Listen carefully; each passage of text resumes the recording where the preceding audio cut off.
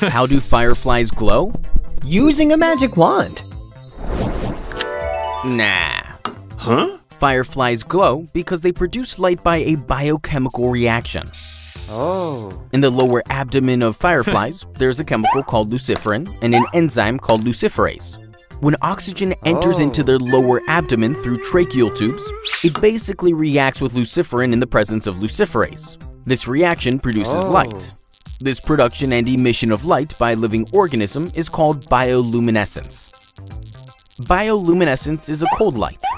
Hmm. This means the light produced generates very less heat, thus preventing the firefly's abdomen from getting overheated. Yeah, dude. It's not hot.